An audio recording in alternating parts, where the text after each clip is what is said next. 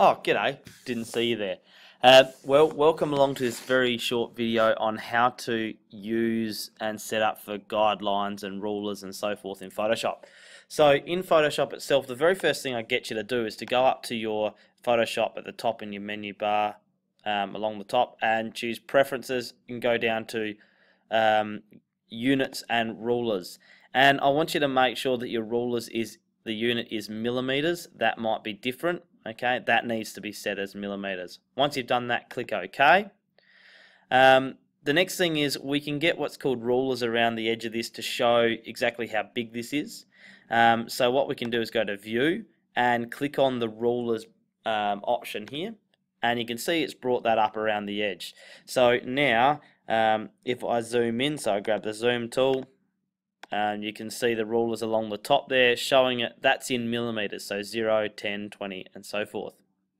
Next thing we can do is to help us out when we're trying to get things organized in a Photoshop document is we can actually use what's called guidelines.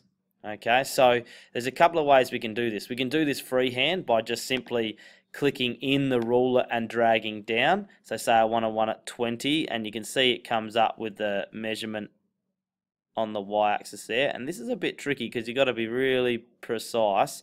So you can see I couldn't quite get that to 20 I can click on the edge and bring that into 20 up there. Alright we can do that all over our page. You can bring in as many as we want. Um, if we don't want one we can simply click it and drag it out. Okay click it and drag it out. Or we can go up to view and clear guides. We can also lock the guides. So once we've got it we can lock them so they can't be moved so we can clear guides. Another way you can do it is we can actually come into view and go new guide. And this allows us to specify exactly, so you know how I couldn't quite get it to 20? I could specify 20 on the horizontal. So it's come across, uh, that's the horizontal that way, so it's come down 20. And then I could go up and do one the other way, uh, new guide, and do vertical, but this time do it at 20 as well and now I've got that at very very accurately so you can actually go in and put them in all yourself and you can put in as many as you want and you can combine them.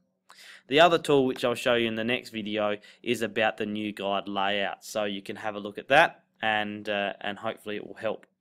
The other thing is I need you to make sure you've got the snap um, options and snap to because when we bring images in we want to make sure it snaps to the rulers that we've got in there the layers and the guides and so forth.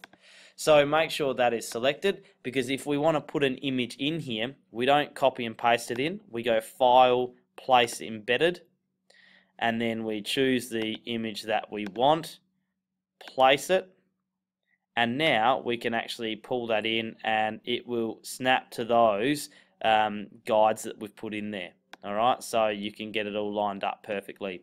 So that way we can get the image right in the corner. When we're happy we can click the tick and away we go. So that's how we can use our rulers and our guides to help us construct a very well structured um, image something like a montage. Alright hope that's helped and uh, good luck